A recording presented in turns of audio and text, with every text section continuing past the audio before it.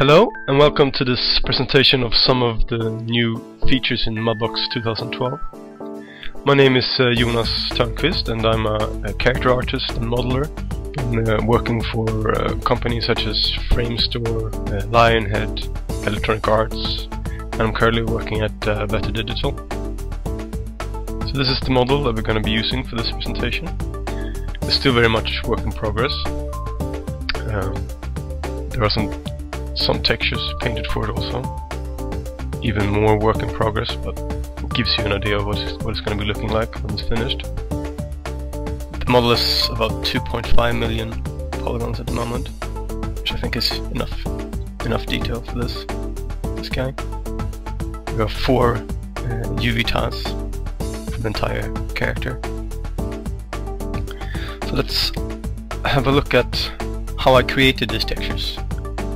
So let's start with having a look at one of my favorite new features in Mudbox 2012. When it comes to to um, projecting stencils on top of your model. So as you can see here, the the reference texture that I have doesn't doesn't really match up very well with with my model. Just line it up as, as good as, as good as possible, but you can see it's still way too thin. What you can do then is you can go in, in under Edit, Edit Stencil. It makes it possible for you to actually go in and, and just pull things around and move the stencil with the with the modeling tools in, in, in Mudbox and just line it up with your with your model. And this is extremely useful, especially when you have characters that are not based on reality, so you don't have perfect texture reference you can match them up to. You can see here in some areas it gets a bit you know, jagged the edges. What you can do is you can actually go in and add new subdivision level and will subdivide this this grid that the texture is projected on go display wireframe you can see the you know, how you have distorted your texture. Turn that off. So you can subdivide it as many times as you want to get enough detail. I think this should be probably enough for us. Just do a very quick job here of just matching it up. We're mostly interested in the in the arm here, so care about these bits. When you're done, Mudbox will actually create a copy of your stencil. You can just go and project as normal. I like to do that on a, a new layer here, so we're just gonna add a new layer. Now you just project as normal. Another nice new feature here is under each of these paintbrush there's in, the fall off section you can say fall off based on facing angle. I'm gonna undo that and I'm gonna do this again with the facing angle value on. Turn this off and can turn off the underlying layer. So you can see that as the face of the model turns away from the camera you get a, hard cutoff there at 60 degrees. Obviously you can change you can change that fall off value to anything. 60 is the default one, it's a pretty good one. So now as you can see we have a lot a lot more texture detail here than we had before. And when you prick something like this you obviously end up with um, a lot of artifacts and seams in some areas. Uh, one way to get rid of them is just use the, the erase tool obviously, but a new feature in, in Mudbox 2012 is the this create layer mask.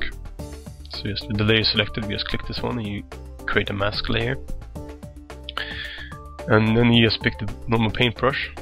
I have a white color selected, but if I hold down control, it will invert the value, so I'll be painting with a black color. So now I can just go and you know, get rid of some of these seams and artifacts present in this projection. Make this this new layer blend blend in better with the with the layer below. The good thing with this is that you can obviously just paint white again, and you can get that that information back once you once it's been removed. It's a non-destructive way of editing your your texture maps, which is very useful. Another tool that's been improved greatly with this new release of Mudbox is the is the clone tool. It's become one of my favorite new tools. It's a lot faster than in, in the in the previous versions of Mudbox. It's, it's great. It's a great tool for just clean, cleaning up your texture and add, adding detail in some areas, and getting rid of you know unwanted blemishes and stuff like that. Another very good thing with, with this clone tool in Mudbox is that you can tint the, the color that you're cloning. So for example, I'm gonna try and copy some deal from the stomach here to the to the to the side of his body. We can see the texture is a bit darker. So I'm just gonna pick a, slightly uh, brown yellowish color here. I'm gonna paint from this from this clone from this brighter area to this slightly darker area. As you can see, it you know you can get it to match up a little better. Get a bit a little bit more red maybe.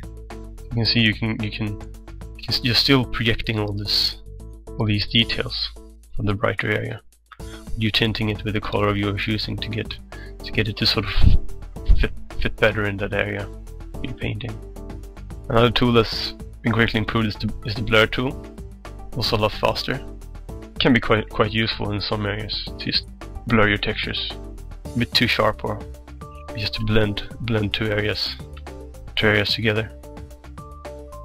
Another nice feature is uh, the new layer blending modes. So if I create a new layer, I'm just gonna go and project texture on here. Take this one here for example. So you can just go and project something on top of here. Now if you go in here and look closely, we can see we can change the different the different uh, layer blending modes. So if you take linear burn for example, you get one look. Probably makes it look a little bit more like a like a tattoo. Another nice thing is under the layer you can go to adjust color. And here you can change things such as you know the, the brightness. You can change the saturation. So you can very very quickly just change the, the, the overall look of the layer. Hue also so you can change different different hue. And you also have the curves can control in individual uh, you know, channels also. It's very useful. That looks looks like a tattoo. The blur tool is also very useful. You can very quickly go and sort of blend the edges more into the skin if you like. Get more of a tattoo look. Mudbox now also supports PTEX, which means for these pants here, for example, you can see here the UVs I have is yeah, not very good. So I wouldn't be able to, to just to, to paint on these. But what I can do is I can go into mesh, PTEX setup, and I can just say tell them to uh, you know, set up PTEX for these for these pants.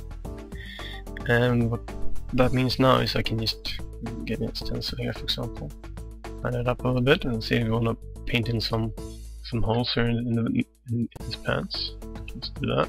You can just tell the new texture that we're going to use the PTEX this, and we just choose opacity channel.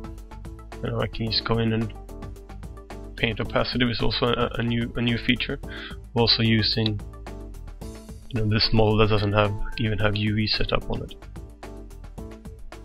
I hope you found this presentation interesting and I hope you give Mudbox 2012 a try. It's a, it's a great piece of software for, for creating textures for your models and I can really recommend it.